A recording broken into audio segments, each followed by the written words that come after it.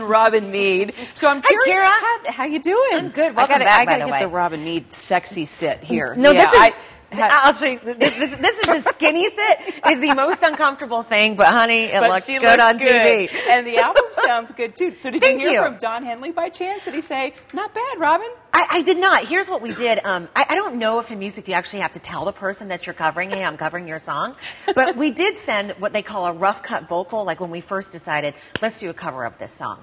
We did send it off to him, and I, and I, I asked if you would like to make a, a cameo appearance in this song, I'd be so happy to have you. And he graciously sent it back and said no. Oh, Don. He turned it down, so- Oh, I'm so disappointed. Well, it's funny that I, I think I think people will look at this. This is one of two covers on an album of 12 cuts, and I co-wrote six of the 12 uh, songs. But I didn't want people to buy a CD. And what do you do when you buy a CD? You you look at it and you automatically turn it over and look to see if you recognize anything. Well, if they're all original songs, you're not going to recognize anything. So I put two covers on here. One of them being "Dirty Laundry" because I thought I thought people, for one, would go, "She's." Singing a song that kind of makes fun of the news. I was going to say that totally rips TV news. What were you thinking? A little bit, but I also um, didn't want to uh, avoid what I, I do for a living. I mean, this is this is what I'm known for. So let's just come at it head on and kind of do a little tongue in cheek wink about it. Yeah.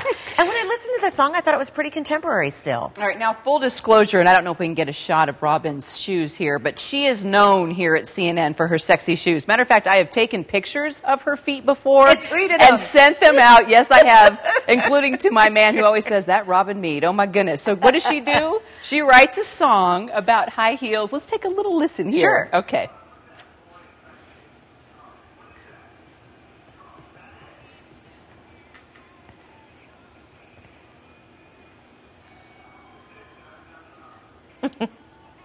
Here it comes.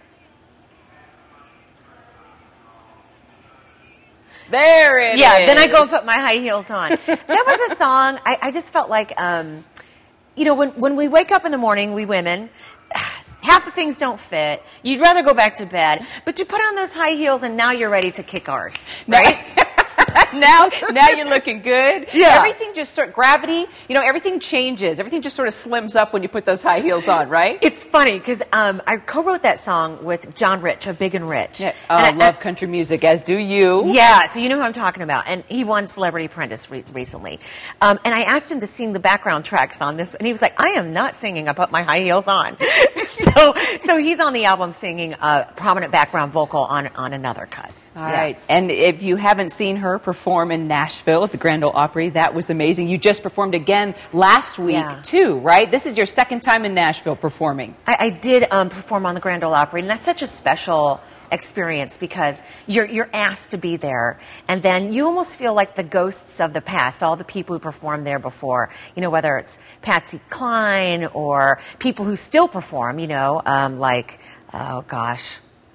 Loretta Lynn, and, and you're up in the same circle that they stood in and, and performing. Yeah. Well, it's pretty amazing. And I'll add, she got a standing ovation also, folks.